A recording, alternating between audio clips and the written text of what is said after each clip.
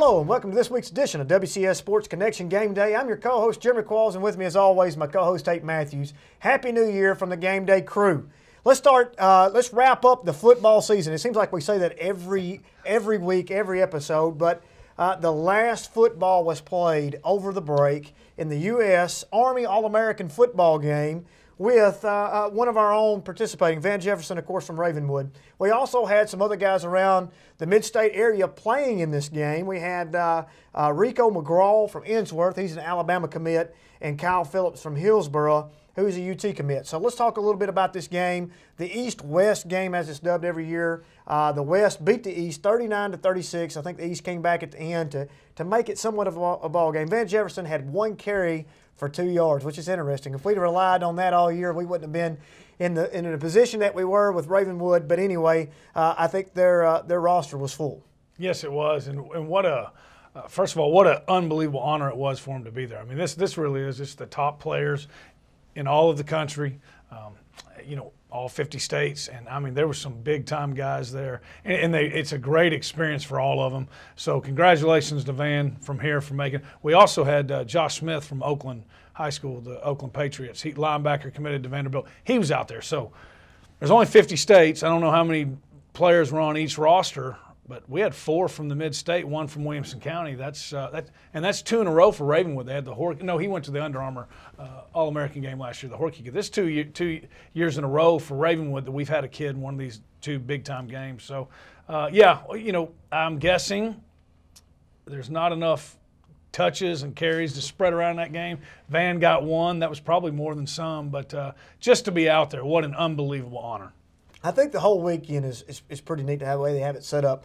Uh, the guys get there. Of course, they have their swag bags ready for them. I mean, Adidas gear galore. galore. Of course, Adidas is the main sponsor, as it is for the WCS Sports Conference.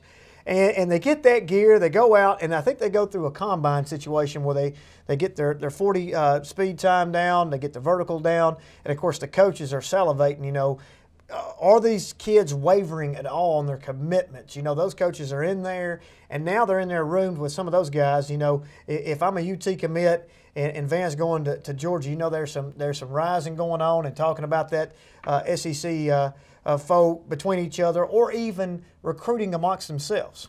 Oh yeah, and Van's roommate was actually Kyle Phillips, who committed on the day of the game uh, to the University of Tennessee, the, the, the four star out of Hillsboro. Everybody in the country wanted him. They were roommates. So I know Kyle was trying to talk Van into, you know, uh, getting out of that Georgia commit and going to UT.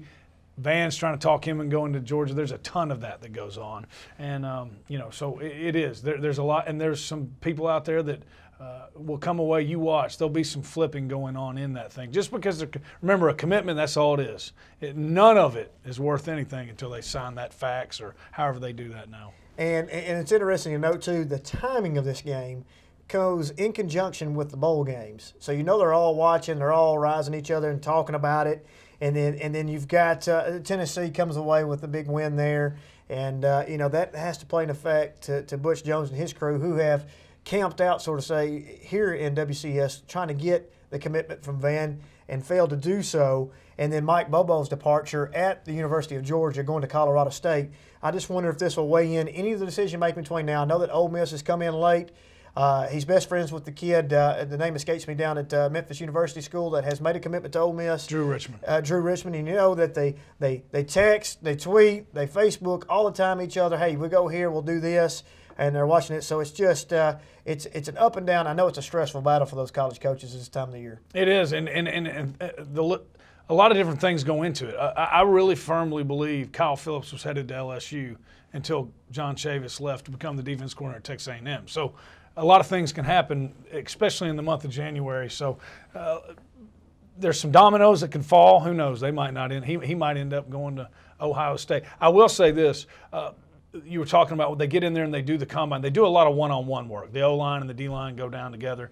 The the secondary and the wide receivers go against each other. I do know that in those uh, pass pro, skeleton, whatever you want to call it, the one-on-ones that Van was in with the wide receivers and the DBs.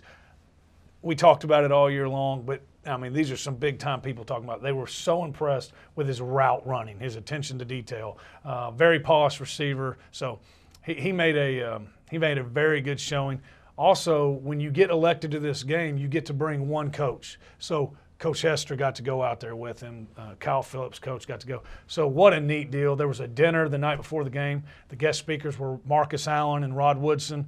I mean, they spared no expense. It's just a, a really neat deal. If you ever have a chance to go to one, it's um, it'd be worth your time. Well, congratulations once again to Van Jefferson. This completely ends our discussion on football for the year. It's kind of sad. Still signing day. It's kind of sad. Well, it's true. It's kind of sad to a point because I'm a basketball guy, but I've enjoyed thoroughly with you and with the crew here of, of doing our football coverage. But now it's time for basketball. So let's move on into the basketball realm.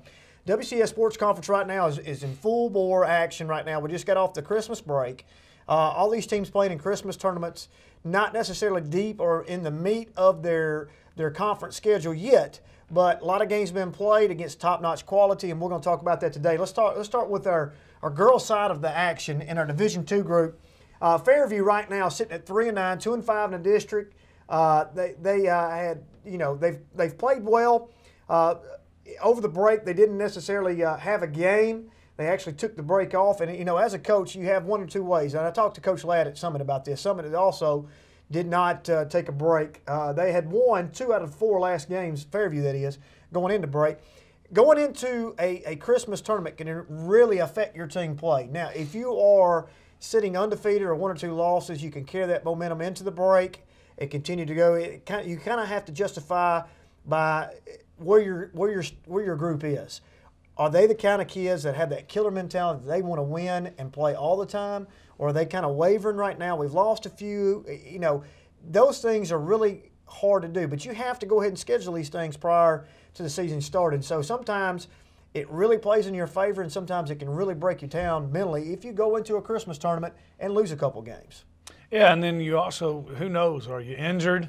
Are you healthy? If you're injured, it gives you time to heal up. Uh, we know Independence, the boys basketball team, they were playing great basketball. They they just got they got hit with the flu, they got hit with injuries. So you never know. But you're right. It, it's um, it obviously worked for Summit boys basketball.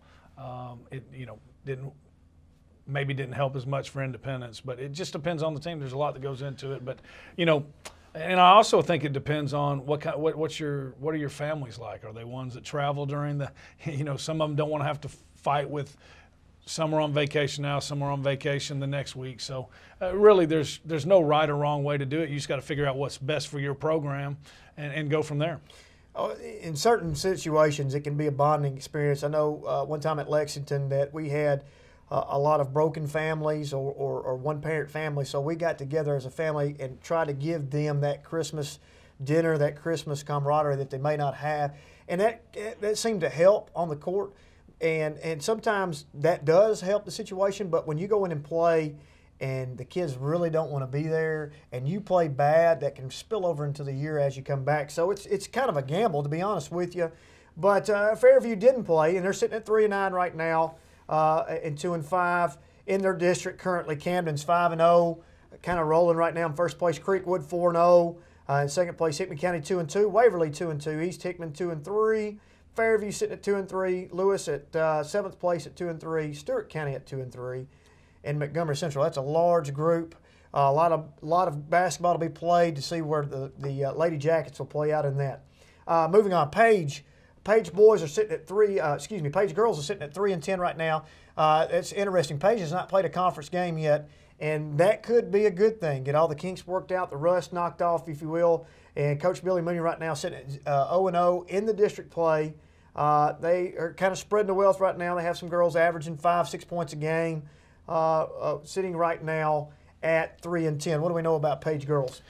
What you said, they, they've got four girls averaging five plus, so it's balanced. Uh, you would like for it to be a little bit higher than that, but if, if they can do that, you know they're at least going to score 20 points uh, or, or 25 points a game, closer to 30. So uh, they've played some really good teams. That's the that's the misleading thing about the three and ten. They played some really good teams. They beat a very athletic Stratford team, 37-27, uh, their last game. So, uh, you know, they're young. They they they were building towards that team two years ago, where they won 25 games, 26 games, and they were very sen- they, they were all seniors, so they knew these next two years were going to be a rebuilding. Uh, this is kind of where they are. They're a young team, but they're getting better and uh, going into district play. Uh, they're battle tested, so I think they got you know probably won't finish top of the pack, but they got a chance to, to finish in the top half. Well, it's like you said, they won the they won the game going into Christmas break, beat Stratford, uh, good win, athletic team as always. We talked about Metro basketball. May not be the best basketball, but they're going to be athletic. Athletic. And Run. then they go into the community and Eagleville Christmas tournaments and lose four in a row. Now it'll be interesting to see how they, they bounce back this week, see how they uh, they play uh, and get off that four game losing streak and get back on the winning column. Uh, that is Page High School sitting at three and ten. The Lady Patriots sitting at three and 10, 0 and 0 in the district. Uh, moving on into our Division One, Brentwood Lady Bruins, as we knew going in, probably district favorite or favorites to get at least combat with Dixon uh, going in for the district championship, sitting right now at 14 and 2, 4 0 in district play. They go into the Beach Holiday Classic tournament uh, at Beach High School. They go uh, they go two and two.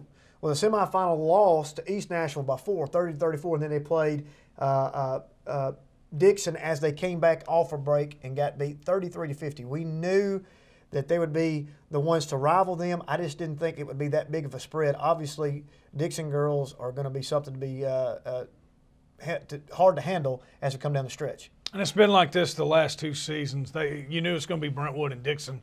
Um, they're good, and they have a Lily Carter, the junior at Dixon County, committed to Vanderbilt. I mean, she had offers from everywhere. So I really think that's kind of the difference. They both have uh, five quality players that are going to start on the starting lineups. They both have a good bench, but Lily Carter is a flat-out superstar. Uh, they had a hard time containing her. It, yeah, it's going to be Dixon and and Brentwood that game, I, I, thought it'd be a little bit closer than that. Jenny Roy in double figures, the leading scorer for the for the Brentwood Bruins and the Belmont commit. She's going to have to. Um, she's going to have to score a lot of points in those games if they're going to find a way to beat Dixon. Absolutely, she's going to have to carry them. And that was a correction. I said four. No, uh, they're three and one, obviously after the Dixon loss. Got third place. Moving on, uh, Centennial Lady Cougars right now are sitting at uh, five and six. Uh, right now, 0 4 in the district. They beat Mount Pleasant going into the break, 41 to 30. In the last game, they did not play over the break. Uh, be interesting. They're, you know, they come back Friday night and play at Independence for that uh, chance to get back in the winning column in the district play. What do we know about Centennial? A lot to play for for Centennial. Like you said, they're five and six. Independence is a game that they can win. It's a game that Independence can win too. It's a district win. There hasn't been a whole lot of those in, in, in Lady Cougar uh, basketball history. So, what they're playing for now, this might be the most wins they've ever had in a season, and that's what they're doing. They want they want to not finish at the bottom of the district. This is a this can get them back to 500. I think Tony Hill's done a great job. He's come in there and uh, he's he said from the beginning, I got to build a culture and that's really what he's had to do. So, uh, big game for them. This gets them to 500 district game. I think they'll go in there and play well, and it's a game they can win. Coach Goodwin at Franklin sitting right now at six and nine, one and two in the district. Uh, they have won three of their last four. Uh, I feel like Franklin, the Lady Rebels, are kind of turning the corner there. I know that she lost a couple early ones very close. Uh, feel like they were winnable games. She's sitting at young. Her best player right now is probably a freshman, uh, arguably. Uh, uh, they went to the Overton Christmas tournament. Uh, went two and one with uh, wins over Marshall County and uh, Harpeth Hall, and then the loss came to Overton 42-46. So they're playing really good basketball right now, coming into the meat of the schedule. They are, and and remember, two of her losses are to Riverdale, who's got one loss to a, a team out of Miami, Florida, in, a, in the in the uh, Myrtle Beach Classic. So they are. They, they're playing really good basketball, six and nine. Uh, the loss to Overton in the Overton tournament, they're very good on the girls' side of the ball at Overton. So they're playing great ball uh, going into the district, the meat of the district schedule now. Um, you know, I think you got Brentwood and Dixon, and then right under that, you got two or three teams, and Franklin might be that uh, third team. Uh, moving on, Independence sitting right now, like you said earlier, they're struggling a little bit. They're they're two and fifteen, uh, zero and three over zero uh, and three in district play. Played at the Lawrence County Christmas Tournament as well as the Overton Christmas Tournament. Went one and five, beating Hume Fogg 45 to 42, uh, but losing the other four contests over the break. They come back and they're going to be playing Centennial, like you said earlier. I think it should be a well a, a, a hard fought contest. Uh, you know, Indy's just trying to get back in that win column, and I know as competitive as, as the coach is, that they're they're looking to do so. Yeah, and and that was a good win over Hume Fogg in that tournament. Mary Beth White does a great job. You know, she's been to the state tournament two, three times at Antioch. Lost a heartbreaker Friday night to, to Summit, 43 to 42. that was a game they could have won. So they're, they're in these games. That's how close Summit and Indy and I, I think Franklin are going to be Centennial. Uh, but th- they're playing hard. It's just, you know, from being a basketball coach, uh, when you have to manufacture points, which that's what she's having to do, it's so hard because we have good coaches. Every program in this county has, in this district has a good coach. So you know they're going to have a defensive game plan. You know they're going to be able to play good defense. And when you have to manufacture the points, it's tough. That's what she's having to do. But they're competing. And there's nothing worse than having to play low and slow. nothing worse. I mean, you know, you, you have that battle where your kids buy into the, the fact first one to 40 is going to win, regardless. We always had that saying first one to 40 is going to win. And some nights we try to keep it under 40. And it's just because of the fact you just don't have those kids that can score a lot of points.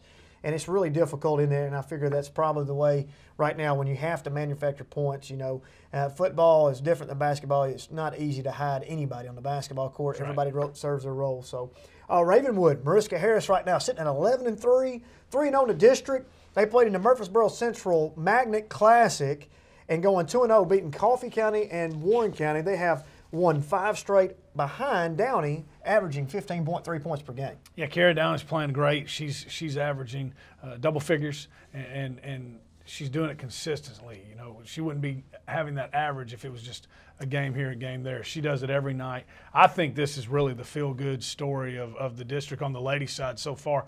A lot of good ones, but I mean, uh, this program hadn't had a whole lot of wins the past few years. Mariska's come in, done a great job. We shouldn't be surprised. Uh, you know, uh, the, you, you look at where she's been the past few years with Coach Insell and the Lady Rebels, I mean, Lady Raiders at MTSU. Right. Uh, she's been a part of something really, really special. She's come in there, brought a lot of energy, a lot of enthusiasm to the Lady Raptors program, and they're playing, playing really well. Well, it'd be interesting to see how this plays out between them and Brentwood. And they play Friday night, the Battle of the Woods round one is taking place Friday night, and uh, be very interesting to see how that game comes out for that battle of second place right now between Ravenwood and Brentwood. Uh, last but not least, Old Sparty, the Lady Spartans, Summit sitting at six and ten. Let me tell you right now, I've caught all the all the action. I, I caught uh, several games over the break. I got to see Summit play, and I was very impressed with Josh Goodwin's job that he's doing with, with these girls right now. They're not the most skilled team, but they play very hard and, and they're looking to win. And when you put those two things together, you're going to have some success. And they came off that win, like you said, against Indy 43 to 42. Uh, they're sitting at uh, 6 and 10 right now, which I would have thought probably would be well over what they probably assumed they were going to win this year already, and one and two in the district. Uh, what do we know about them? You're right. Two out of three wins. That's great for them. They haven't had that before. And the loss was to CPA, who two years ago was a state champion. So they're a very quality program. And, and the Independence win that we spoke about earlier, that was a great win. They're young, okay? He, he's only in his second year. It's a four, it's only the fourth year of the school. But they they could have lost that game, and they didn't. They hung on. They found a way to win to get their second win out of three games. I think he's got to be very happy about that. They got a chance to win 10 games this year. And I think that would be an That'd unbelievable be accomplishment Absolutely. for them. All right, right now, the, the girls' district roundup right now, as it sits, is Dixon in first. Uh, obviously, we've talked about them. Ravenwood and Brentwood sitting in that second place uh, spot. Summit sitting at fourth. Franklin in fifth, Centennial sixth, and Indian seventh. So it's going to be interesting as we get down to the sports conference. That's the girls basketball roundup. When we come back from break, we're going to hit the boys real quick, and then we're going to have our pick'em section. Stay with us. We'll be right back. Welcome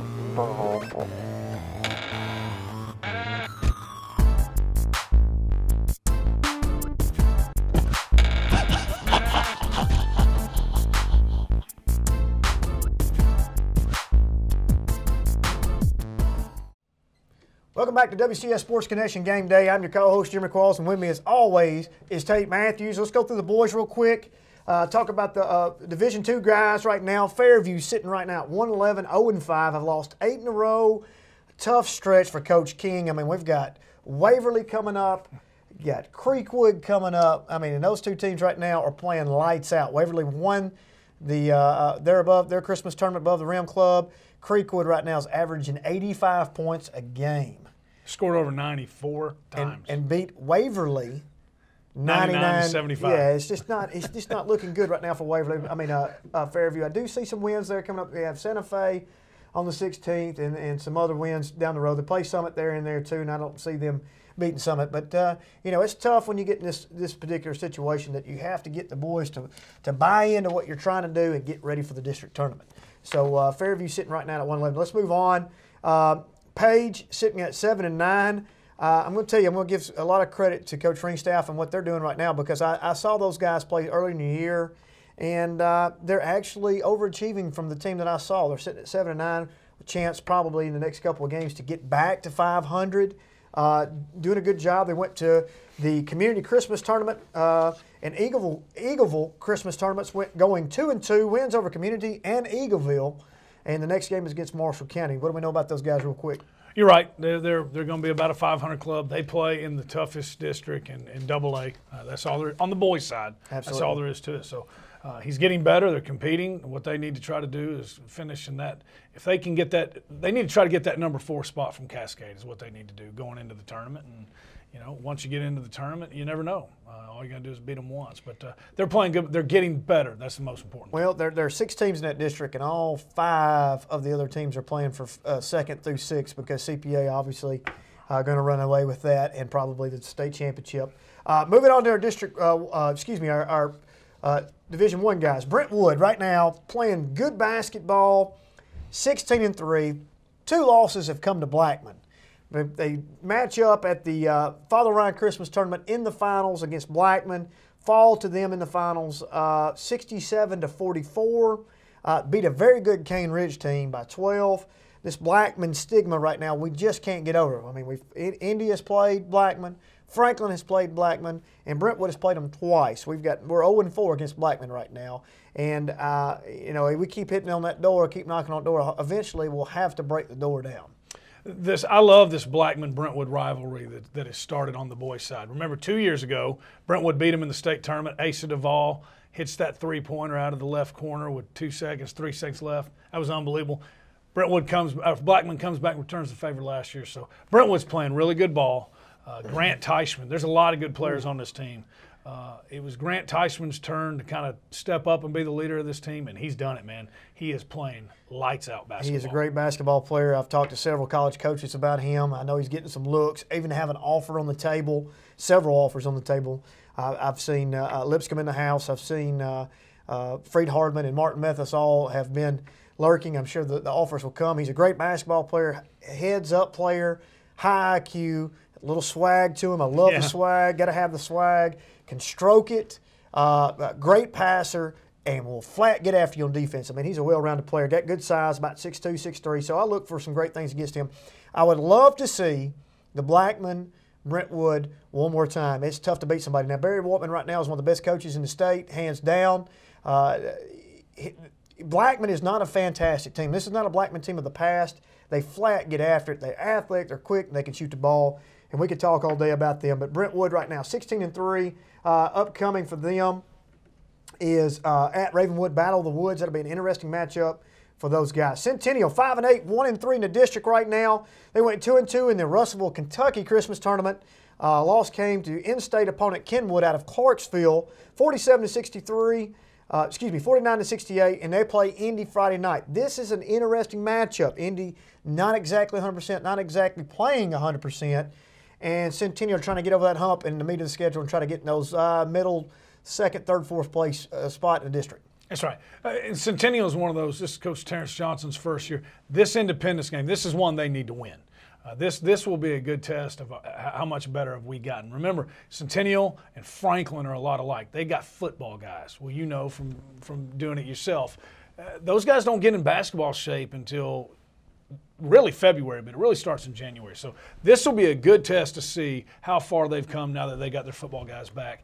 But they are definitely more athletic and playing better than they have been in the past. Franklin right now sitting at 500, 7 and 7, 2 and 1. I still think Franklin, and I've happened to see them more than anybody just because the way the schedule has fallen for me over Christmas. Uh, they're 7 and 7, 2 and 1 in the district. They're the kind of the sleeping giants to me. They're the biggest team.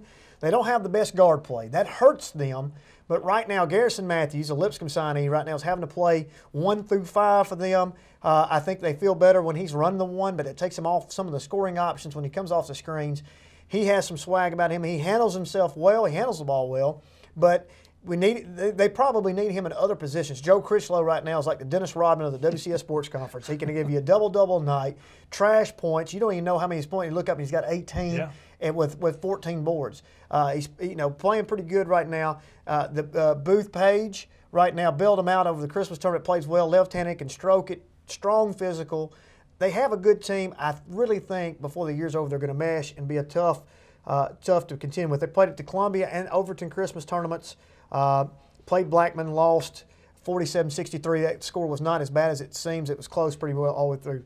Uh, and that's Franklin. Indy right now, 10 and 10, sitting at 500. They played a full slate of Christmas games. Obviously, they played seven games.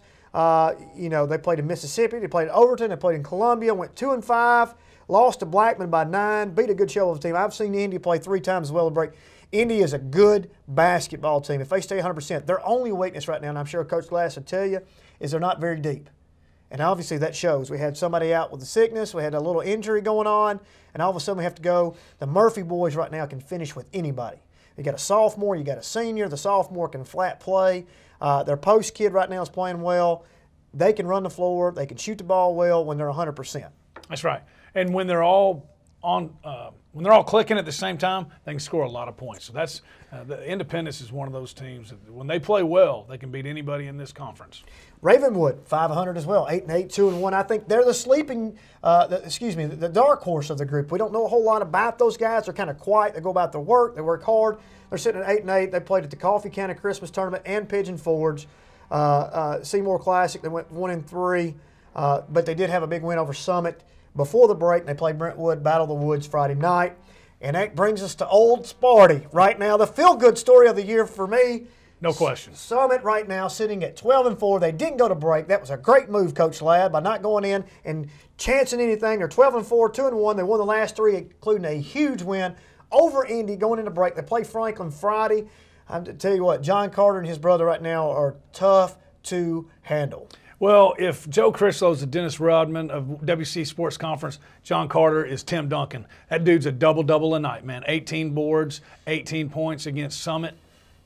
I mean, against Independence the other night. That what a great performance that was. Absolutely, and you know And just what? a sophomore. And you watch him, and he's so unassuming. You don't know. He looks like he may be playing lazy, but boom, he's by you and he scores, and he's getting in there. He's big enough to handle things. I, I tell you what, JC's tough to handle. Be interesting to see how this all plays out. It's fixing to play out right before our eyes coming up. So that brings us to our pick'em, folks. Our pick'em games of the week right now. First game is Fairview versus Waverly. We'll start on the girls' side. We have to go quick, Tate. Girls' side, Fairview versus Waverly. Fairview, You're going to go Fairview. I'm going to agree with you. Uh, boys' side on that. Waverly. Unfortunately, I hate to pick against any team, but the Tigers right now, Waverly playing too tough. Page at Marshall County. Girls. Going Moondog, the Lady Patriots. I've seen Marshall County girls play. Absolutely, he's going to outcoach that group right there and win that game. Boys, Page Marshall. I'm going to give them the upset, and it will be an upset, but I think Page gets them. Not going to count it necessarily upset. I think the Page team is scrappy. I think the Marshall County team may come in a little bit sleepy. Uh, I'm going to give you the. I'm going to go with you on that. Patriots with a win there. Brentwood, Ravenwood, Battle of the Woods, girls side. It's going to be fun. Uh, Brentwood gets them. Good gonna- game, though. I'm going to go with Mariska Harris. We're at we're at the nest. Be interesting. They're playing good basketball. Brentwood's probably second test of the year with quality. I'm going to go Ravenwood against you right there. like what it. about the boys side? I'm going with D King and the Bruins, uh, but but Coach Whitlock always has a great game plan against them. Brentwood. I'm going to go with you absolutely. Just like we said, G2 bar on this until somebody beats Brentwood. They're the top dog right now. Centennial versus India, real quick, girl side. Centennial. Centennial, I'm going to go with uh, Centennial as well. Boy side, Indy. I'm going with Indy. Franklin versus Old Sparty, girls. The battle of the good ones. I'm going with Carrie Goodwin, the Lady Rebels. I'm going to go. Uh, I'm going to go with Josh Goodman because they're playing good basketball coming in. And on the boys' side, I'm picking Old Sparty for the upset of the big dogs of Franklin right now. Old what do you Spar- have? Old Sparty. Old Sparty. Thank you for joining us for WCS Game Day. Come back to us. See us next time. Always remember to be nice.